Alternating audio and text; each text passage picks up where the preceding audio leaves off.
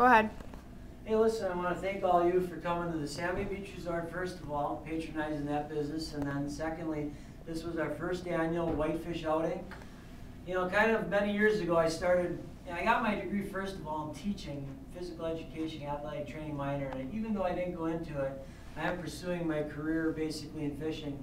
And we've taken it now a step further. We started with the walleye school, and now we've kind of taken it another step further, and we're going with this whitefish event. And uh, just kind of what we did is we set up a beautiful tent out on the ice. Granted, the weather wasn't really too uh, uh, Cooperative. yeah, cooperative, exactly. it was really a blustering day today, but you know we caught fish, and I think uh, everybody. Did you guys have fun? Oh, Yes, yeah. fabulous time. All right. Fabulous. Fabulous Dave? host.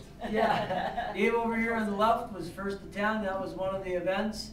Um, you know, he got this first ten on the ice. We had what was your first name? Jody? Jody had big fish, and there was a close second. Who was close second? Chelsea. Chelsea. Chelsea. Chelsea had the hot hand. She was for a while there. I thought Dave was going to get beat. It was a race. She, she, she kind of got a little quiet over there, but she did get a big perch.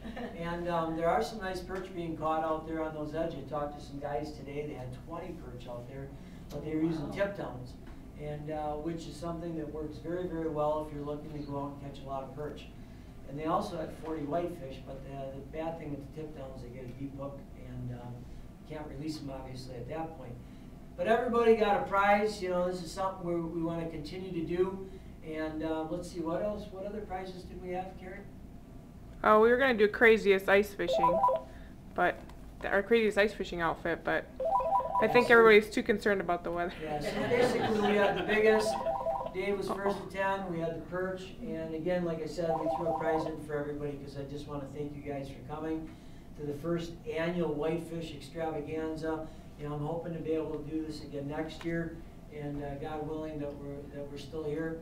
But uh, that's it, and I just want to thank everybody for coming and appreciate your business. Thank you. Thank you. Thank you. And we'll be back next And year. Karen.